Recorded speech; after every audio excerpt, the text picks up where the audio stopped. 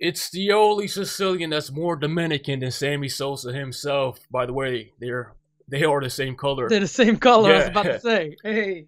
The Peter Simonetti of the scumbag source has been to the island of Hispaniola more times than Christopher Columbus himself. welcome, it. welcome, Pete. How's it going? It's going well. It's going well, man.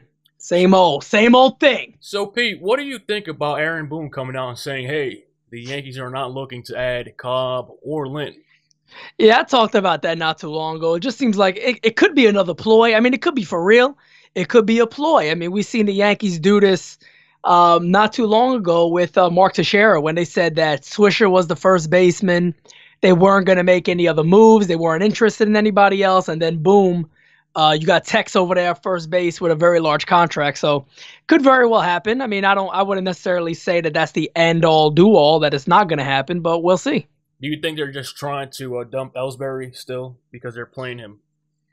I would think they would have to be. I mean, uh, there's no, there's no, there's no place for the guy in this team. I mean, at the end of the day, if somebody gets injured, you know, you got guys still ahead of him. You yeah, know, I see that they are including him in the lineup. Um, most of these games, and I guess they want to increase his value to still move him. Yeah, it could definitely be a showcase type thing where um, they're just showing other teams that he's healthy, he's in he's in good condition, he can he can obviously play.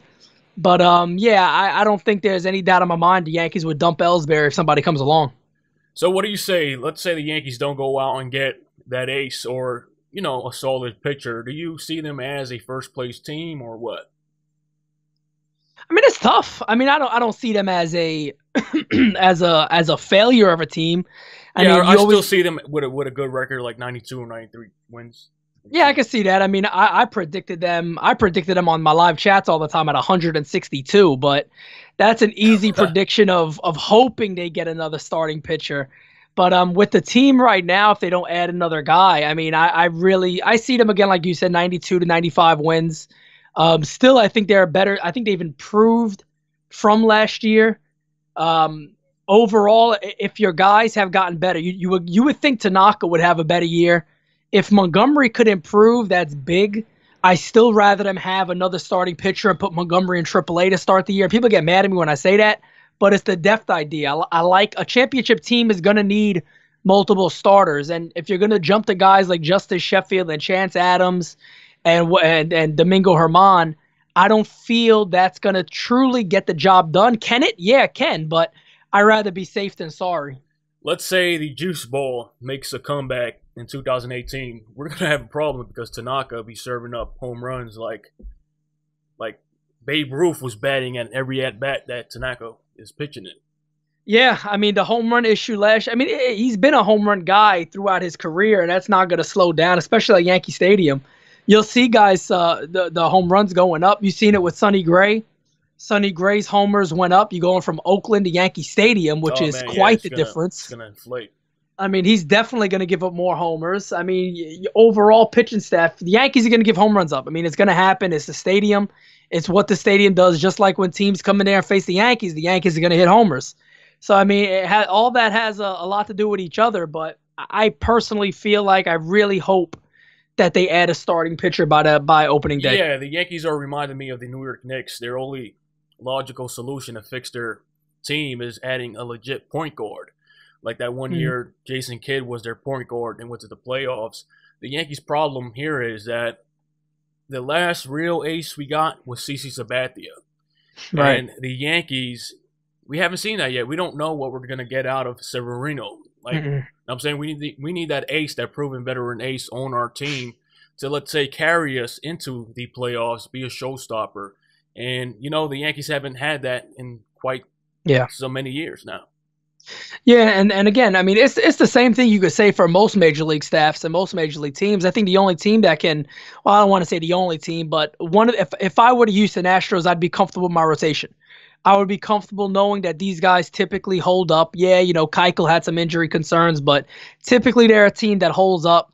But if you're looking at the Yankees, for an example, you're right. I mean, you can run down it. You got a Severino who threw more innings than he ever has, uh, stressful innings too in the postseason. How is that going to affect him? If he gets better or he's the same, then hey, that that's great for the Yankees. Uh, Sabathia's knee problems, uh, Tanaka having a rough year last year Does he build off that? Does he get better? Does he make changes? Does he make adjustments? He's a question mark. Sonny Gray coming over from Oakland and New York, he pitched decent for the Yankees, but again, could still be a question mark.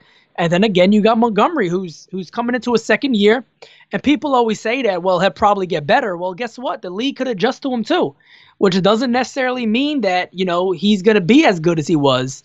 He could really tail off. So hopefully they get better, and that's the way you got to see it. Is that they got five healthy guys right now and they do got a little bit of depth in the minor leagues. I just really, really, really would like to see them add a guy, and I still think they eventually will. So, um, you said Keuchel for an example. Keuchel, yeah, he was kind of in and out last year, but he's proven to be that showstopper type pitcher. Exactly. When it comes to being clutch, I don't see the Yankees exactly. having that kind of picture on their rotation. Maybe, it, I mean, if you ask me, CC Sabathia was that guy come to play come playoff time, and the dude's like what, thirty seven years old now? Yeah, I mean CC and Tanaka were the guys in the postseason for the Yankees. I mean, if if Tanaka can just be Tanaka, I mean, if you really think about his season last year, that first half was horrible. I think his first ten starts or so was was just was just absolutely yeah, terrible. Was, so I mean, he was horrendous early in the year. So the second half, he really turned it around, went back to about a three and a half ERA guy, which is what Tanaka is. He doesn't need velocity here's a guy who, who's going to be able to mix it up, uh, continue to pitch well. He was great in the postseason. Uh, him and Sabathia were absolutely excellent. Sonny Gray had a decent outing against the Astros, but again, you know, Severino also had one decent game, but nothing really, as, as you say, and I agree, is that uh, we still don't have that showstopper yeah, yet. was subpar. and uh, Sevy could be that guy. Yeah, Sevy was kind of yeah, he like wasn't he wasn't he wasn't really special. Yeah, he definitely but, wasn't and, special. And, he could be that guy. Yeah, but if the Yankees are going to be successful and sustain first in the AL East, Sevy has to have a great year again. So. yeah, that opinion. too. And then the other thing you got to think about is, oh yeah, he'll, he'll definitely have to have a good year for the Yankees to compete. The other thing you got to think about too is at the deadline. I mean, there is going to be other guys that are available that aren't available right now. You know, you got Cole Hamels, who is a big game pitcher. He always has been. Um, that would be a, a, guaranteed target of the Yankees. He's going to be a free agent, so it's going to be a, a, rental for a couple of months.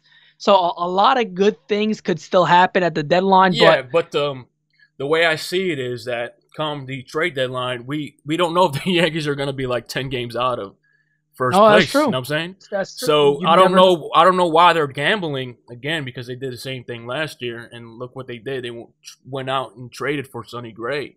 And yeah. if you ask me, the Red Sox, if they catch heat, they go on a win streak. They might be like ten games out come trade deadline. Yeah, I'm not a. I'm not as high on the Red Sox as a lot of other people are.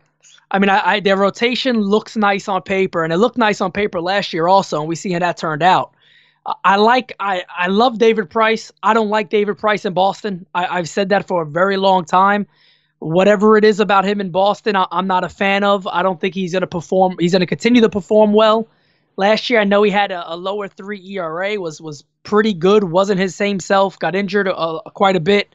Sale really tailed off, but again, I'm not going to be the type to knock Sale. Sale's one of the best pitchers in baseball by far, by a long shot. Drew Pomeranz, I still feel is a toss up. I don't think he's as good as he performed.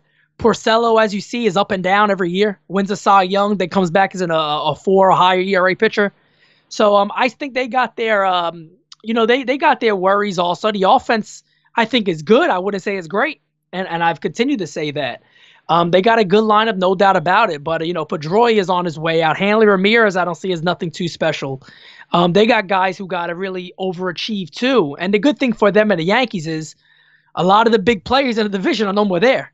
Yeah, you know, uh, the thing I'm they're saying going to beat is, up on some teams. Yeah, they're going to beat up on the AL East, but we got to analyze the Central as well. The Royals ain't a good team no more. You have a whole bunch of teams. Detroit, exactly on the West too.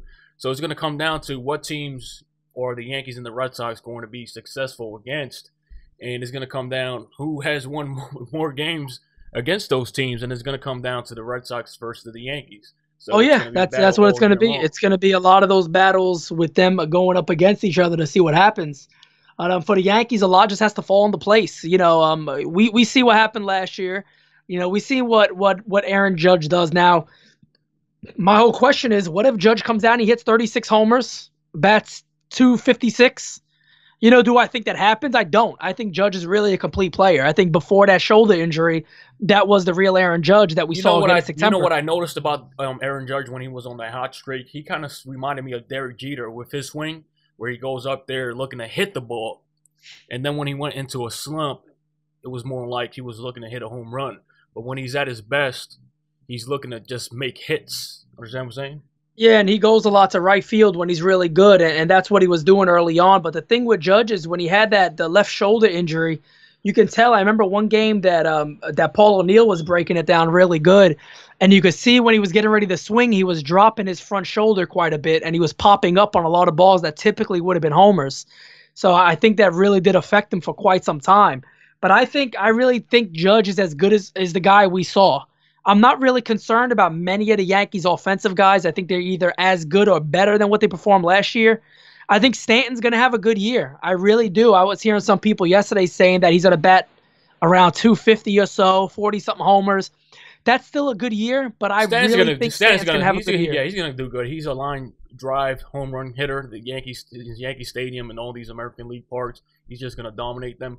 But if I were the Yankees, I would start Sheffield to start the season. And if he has a better spring than Montgomery, I will choose Sheffield over Montgomery.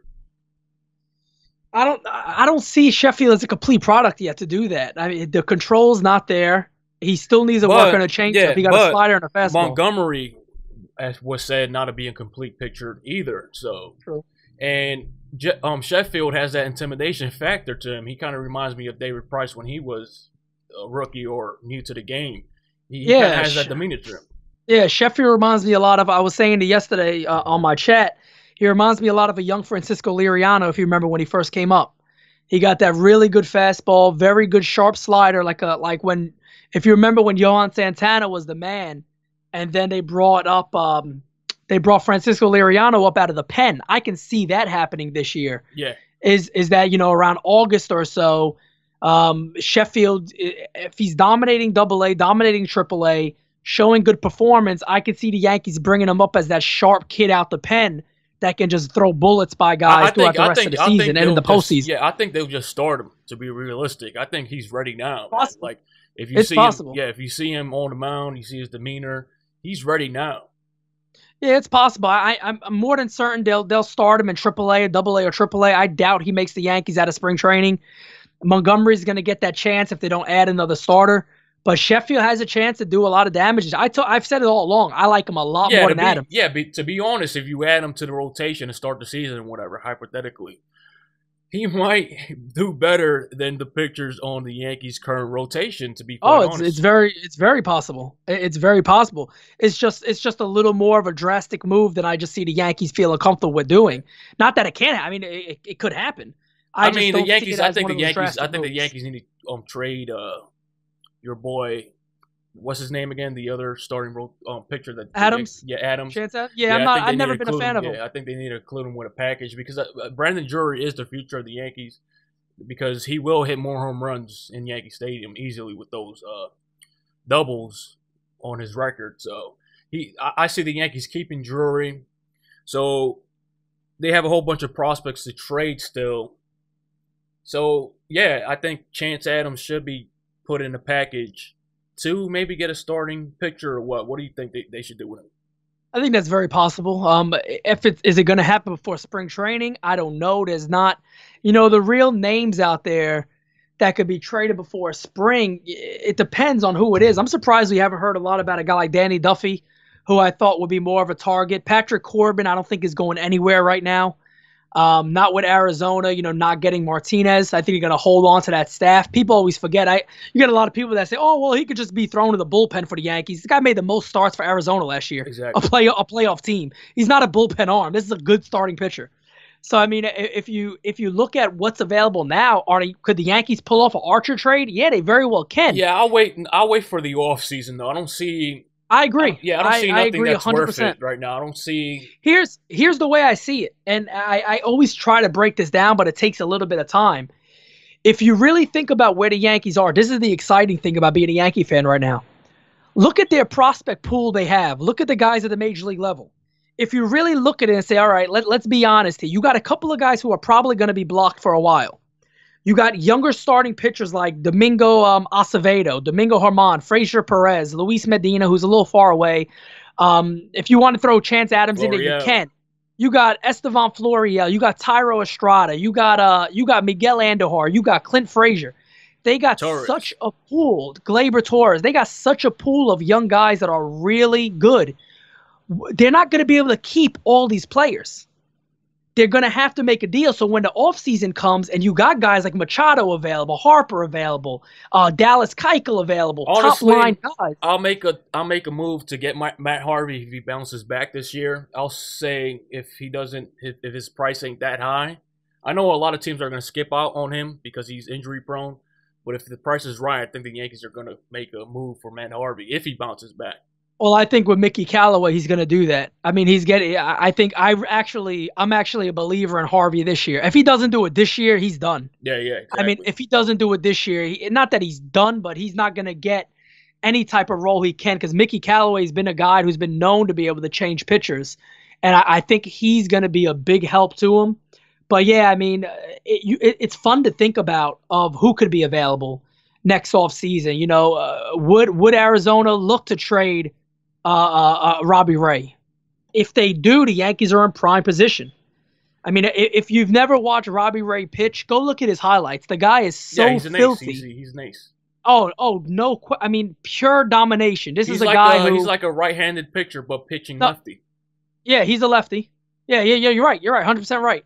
I mean, he is a pure dominating. That's the guy that you would talk about. That is an ace. He, he's he what it was one I love the stat 165 innings 219 strikeouts something like that just just baseball game type numbers the, the guy if he ever stays healthy for a full year I love to see his numbers what he does but guys like him could be available and there, there's there's some names out there that could still be available and well, there's a lot to talk about for the Yankees because CC, if he has a good year, the Yankees bring him back again. Yeah, he's going to be like you know, another Andy Pettitte just to fill up. and and, and that's a lot. You know, um, Tanaka's not going anywhere for another two for another three years. Um, you know, Sevy's not going nowhere. Sonny Gray's probably not going to go nowhere until he hits arbitration, which is coming up now.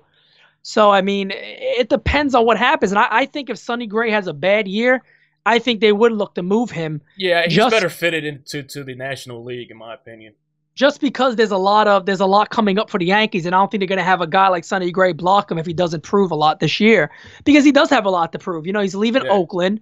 He's I mean, stepping he's up high, in the yeah. big city. He's high he up in their age too. You know, you got you got people that believe that this guy could be a Cy Young winner on the Yankees. You got people that believe that he's going to be an absolute train wreck. So he's one of those guys that right now is a toss up. I'm on the side of thinking he's going to be good. I've never said he's going to be a, a Cy Young winner. I don't think he's going to be that. I think he has a chance to be a mid three, you know, 3.75 guy to give the Yankees some good innings and win a lot of ball games if he keeps them in them. Yeah, I think but, he's um, more fit to be a National League pitcher with that. I, uh, I don't, I don't see him as being a, I don't see him as being a Cy Young contender this year. Yeah. There's, there's not enough velocity and not enough strikeouts. Exactly, he's, in, he's in that high up there. Yeah, he's high up there in age now, so it's like he already reached his peak. My yeah, he's, he, I mean, and he's a good guy. He, he could, he again, he could have a lot, a lot, a lot of success. We'll see, and that'll be best for the Yankees if he does. But um, the depth, the depth is the concern that that that worries me with the Yankees. Like you know, we can say all we want. Well, throw Chance Adams in there, throw Germán in there, throw Sheffield in there.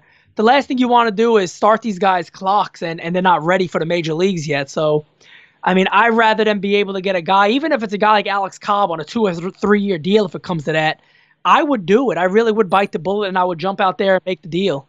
Yeah, I'll just skip out on this point because, um, like I said, the Yankees, in my opinion, they need a power arm. They need that ace pitcher. And as of now, the players that they have on their roster and their farm system, I believe that Sheffield is the real deal. You could just see it in his face, man. The man can intimidate batters coming up to the plate, and he has a power arm. So yeah, he's a gamer. I mean, he has a and he has a great, great slider. He got to get that changeup going a little more.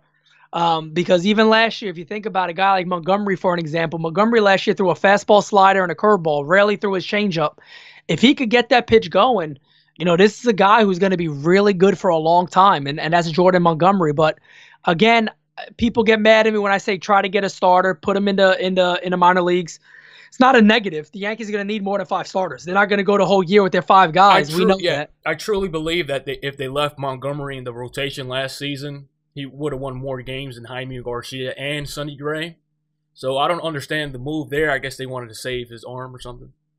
Yeah, it's the it's the whole innings thing. You know, he started to tail off a lot towards the end of the year, so I think they wanted to just you know uh, uh, give him that time and have a decent starter going. Jaime Garcia yeah, but absolute... when yeah when you when you analyze Montgomery though, he wasn't that bad. When he when he was bad, he will give up like maybe four runs or, or whatever. Yeah, no, Montgomery was net was yeah. had a had an excellent had a consistent, very solid year. I mean, and and he was a surprise to a lot of people because he wasn't he's never been a name that you heard on the top Yankee prospects. Yeah, he wasn't one of those guys. He was just always really consistent. He's a bulldog. He's gonna go right at you. You know, if his control picks up and his changeup can get to work. And here's a guy with four above average major league pitches, so has a chance to be better than he was last year. When is um Betances going to hit the free agent market? Do you do you know? Um, I believe it's I believe it's two years from now. It should be 2020 or 2021. Yeah, because if it was 2019, I could see the Yankees moving him, but I, I guess they're going to keep him. Yeah, he's um right now he, he's pitching for to me he's pitching for his job with the Yankees yeah, this year. Exactly. If he comes out there and has a and has a rough year, rough with command still, he he won't be a Yankee the following year. Yeah, they got too many young guys coming exactly. up that could take that place. But I'll, I'll I'll save him up for 2019 and trade him and then re-sign him because if you pay attention to his first half stats, he's pretty nasty. He always makes the All Star game. Oh, well, and then when the just, guy's yeah, great, and then he just deteriorates for some reason. I guess yeah, the Yankees I mean, haven't fixed him up yet. They they always see that he deteriorates um, closing out the season, and they can't fix him yet. Well, I think last year Girardi hurt him a lot, and he was one of the guys where I kind of saw it as uh, not not really a negative. Now, again, Girardi had to win games in September and he had to win games in the postseason. So you're not going to use the guy who comes in and walks the first three batters he faces. Yeah. But I think in September, even though the Yankees were still in that race to try to get into the postseason, I still think he was used a little, a little sporadically. You didn't see him a lot, so I don't think it gave him a chance to really work on many things. I'm not making an excuse for him, but I mean, if he comes out as the same guy he's been the last couple of years, you know, gets that control. The fastball control is the main thing for him. If he doesn't have that, it's hard to hit him. You know, if, if he's able to control his fastball, he's, he's as dominating as anybody in baseball. So you got to hope he just comes out and makes those adjustments. And the Yankees got some sleepers in that bullpen, I'm telling you. Look out for Ben Heller. Uh, Gio Gallegos is another guy that has good stuff. So they, they got a lot of guys in that minor league system that can come up out of the pen to really dominate. Another name there, too, is Chance Adams. Exactly. I think Chance Adams could eventually work his way into a bullpen role with the Yankees. What's going to happen to Warren though if like say let's say Chance Adams is called up? Yeah, I don't think Warren's a guy that's really blocking anybody though. I, I really don't. I like Warren. I like him more as a long guy. I, I never. I, I don't.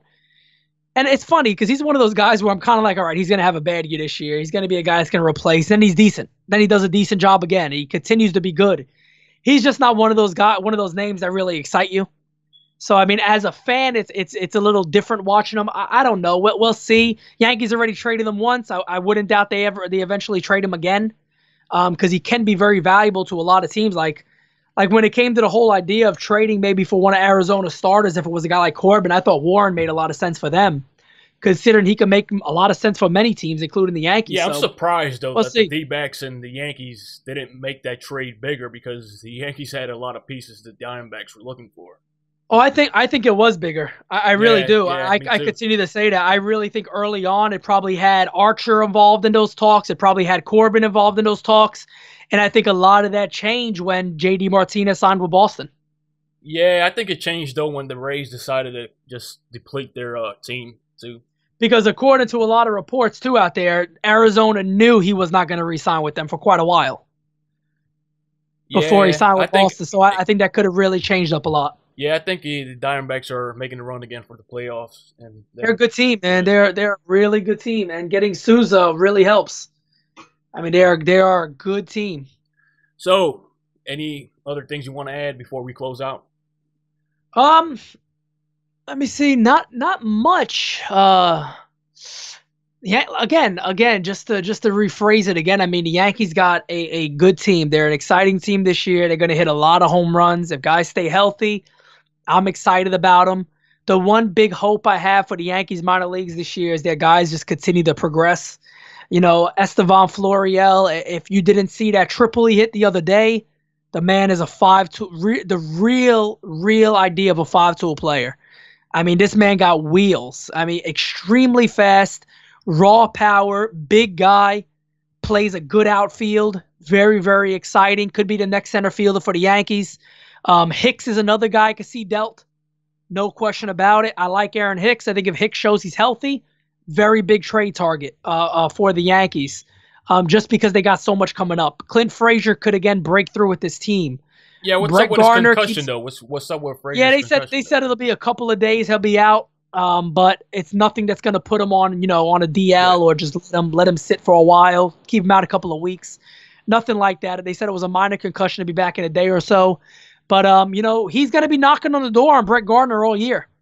Oh yeah, sure. no question about it. Brett Gardner shows any signs of struggle. I don't think they're going to jump to Ellsbury. I think they're going to go to. I think they're going to go to Frazier. Yep. Frazier needs to have a good spring, and he needs to prove in the minor leagues when he gets there that he's going to play and he's going to do well. He has to do really well in AAA and knock down that door this year because again, he could be a long-term solution for this team. Exactly. So that has been Peter Simonetti of the Scumbag Source. The Scumbag Source, the number one source for scumbag news on the scumbag New York Yankees. You got to go to scumbagtwitter.com to find him. All right, Pete. Thanks, man. Problem. All right, take it easy, man.